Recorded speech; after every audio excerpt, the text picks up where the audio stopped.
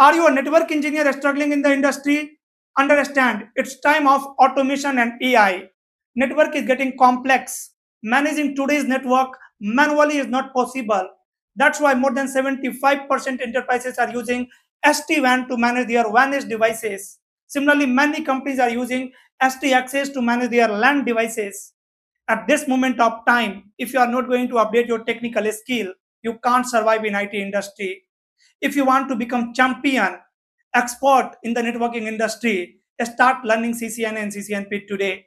Because NANP is the foundation. It's very important to have a strong foundation in the networking industry first. If you are already done with CCNA and NP, you can go with modern technologies like SD-WAN, SD Access, data center, next generation firewall.